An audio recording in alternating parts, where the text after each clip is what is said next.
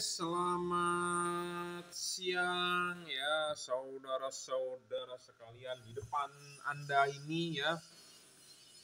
Di depan Anda ini ada fog lamp punya mobil Hyundai H1 ya, Hyundai H1 mobil yang sangat gede. Nah, ini banyak mobil-mobil dari Korea ya eh, di luaran sana sulit untuk mencari bohlam fog lampnya karena bohlam fog lampnya tidak familiar seperti mobil Jepang. Ya, sulit menemukan yang bagus. Saya ngomong apa adanya, tetapi kita punya ya satu warna sangat bagus, sangat terang, saya jamin. Nah, tetapi ini di request tiga warna. Video ini sebenarnya sudah lahir beberapa lalu, udah banyak saya review, udah saya bikin juga. Eh, nah, kali ini kita mau membuat juga fog lamp tiga warna untuk untuk mobil apa untuk fog lamp Hyundai H1 ini ya. Jadi tiga warna. Nah, ini seperti Anda lihat di depan ya, eh, rumah fog lamp-nya agak butek ya, agak butek. Jadi bisa mempengaruhi hasil sinar. Saya ngomong apa adanya karena satu supaya sinar itu bagus, satu adalah perlu mikanya kinclong. Ya, mikanya kinclong itu perlu. Kenapa? Ya sama lah seperti Anda pakai kacamata sama kayak saya. Kacamata sudah satu, satu dua tahun pasti dia kacanya coatingnya udah butek. E, tentu kurang begitu terang. Tetapi pas Anda ganti kacamata baru walaupun ukurannya nggak berubah loh. Seperti saya. Saya baru ganti kacamata, saya bilang kan dites ulang mata saya diukur, wah ini naik setengah pak minusnya. Terus si tukang optiknya bilang perlu dinaikin nggak nih pak? Terus dia kasih saya coba, daripada dinaikin ntar tiap tahun ganti nambah terus saya bilang nggak usah samain aja tetapi kacanya baru. Wah lebih bening. Gitu ya. Jadi kalau baru bening pasti. Nah maksud saya adalah kalau ini kacanya bening pasti lebih terang hasilnya ya karena ini terlihat butak jadi faktor mempengaruhi adalah kaca mika. Kalau butak itu mempengaruhi output sinar. Ya jadi buat anda yang mobilnya kacanya butak dipoles lah. Kedua adalah bagian chrome. Bagian chrome di dalam itu harus mengkilap kalau bagian chrome di atas itu butek, ya tentu dia tidak bisa memantulkan cahaya dengan baik.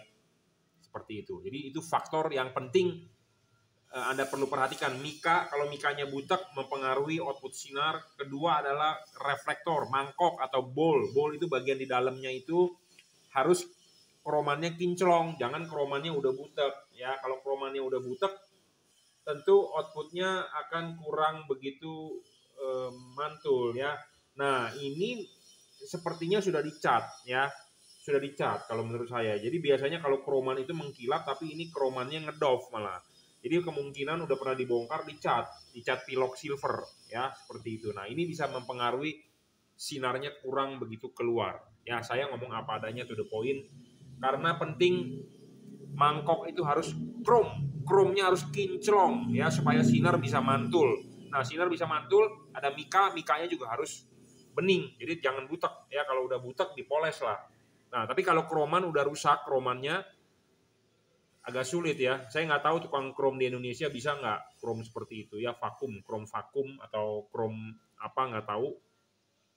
Jadi itu dua hal yang mempengaruhi. Ya kita akan update ini mengenai pemasangan eh, lampu fog lamp tiga warna untuk Hyundai H1 atau untuk mobil Korea Korea lainnya tapi Anda harus ngedrop ke saya adalah rumah fog lampnya ya untuk kita bikinkan lampu LED-nya yang tiga warna. Oke, eh, silakan eh, ditonton ya. Nah, kalau ini fog lamp sebelahnya masih agak bagus ya kromannya tuh masih kinclong. Ya, masih kinclong kelihatan ya mangkok bolnya. Nah, sedangkan yang ini udah butek ya, udah butek. Nah, makanya output yang ini agak agak agak agak agak nggak maksimal lah ya. Kalau ini masih bagus tuh, kromannya masih mengkilap yang bagian situ sudah pernah dicat karena mungkin kromannya botak jadi dicat menggunakan uh, cat-cat pilok yang chrome ya. Nah, ini kita sedikit mau mendemokan ya outputnya. Ini menggunakan bolam aslinya nih halogen. Kita arahkan ke tembok ya, jadi supaya Anda bisa melihat uh, outputnya.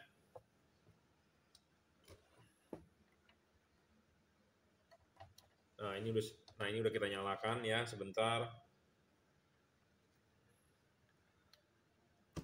Kita arahkan ke tembok. Nah, begini doang ya outputnya tuh. Kelihatan nggak? Tuh, cuma garis lurus doang ya. Ya, garis lurus doang. Jadi, ya beginilah fog lamp mobil Korea. Dalam hal ini adalah Hyundai H1. Ya. Jadi seperti ini. Nah, kita akan mengganti dengan LED ya. LED-nya sih sebenarnya yang ini udah saya pasang, tapi karena ini batoknya kromannya begini ya outputnya nggak bisa maksimal. Ya kromannya butek.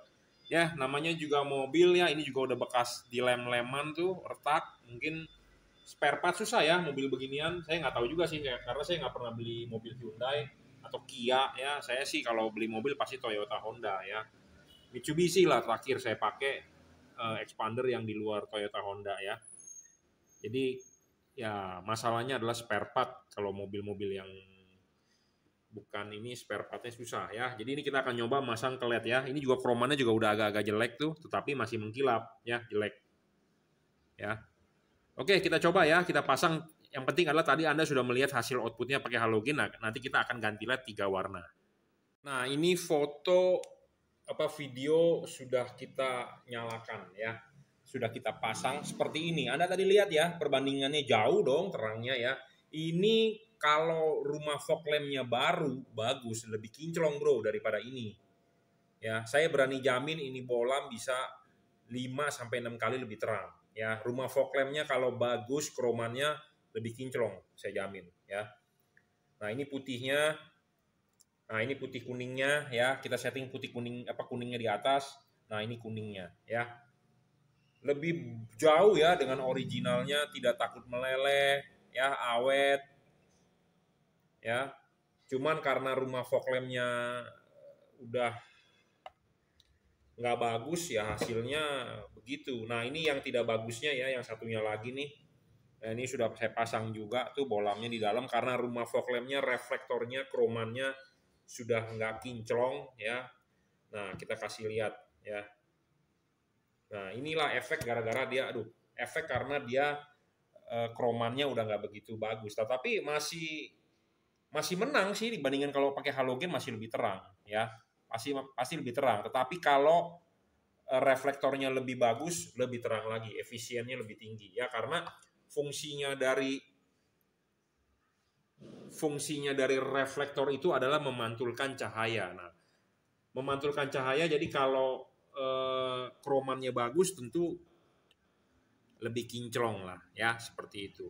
Oke ya Cukup ya. Jadi ini untuk Anda pemilik Hyundai H1 atau pemilik mobil apa pun perlu diperhatikan dulu. Perlu diperhatikan apa yang diperhatikan adalah mika.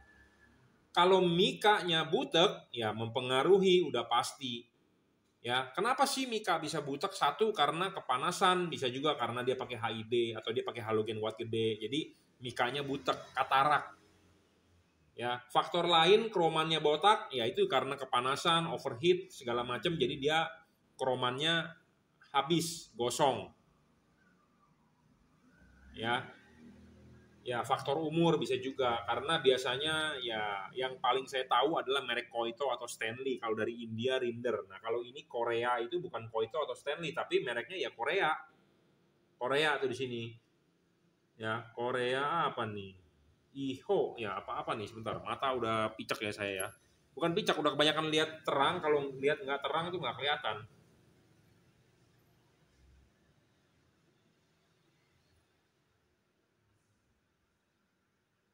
HNO HNC pabrikan Korea nih. HMC IHL ya ada kode-kodenya sebenarnya jadi kalau Jepang biasanya Stanley Koito ya. Kalau ini IHL, H, HNC, Korea di sini ada tulisannya ya. Oke, jadi perhatikan ya. Terima kasih.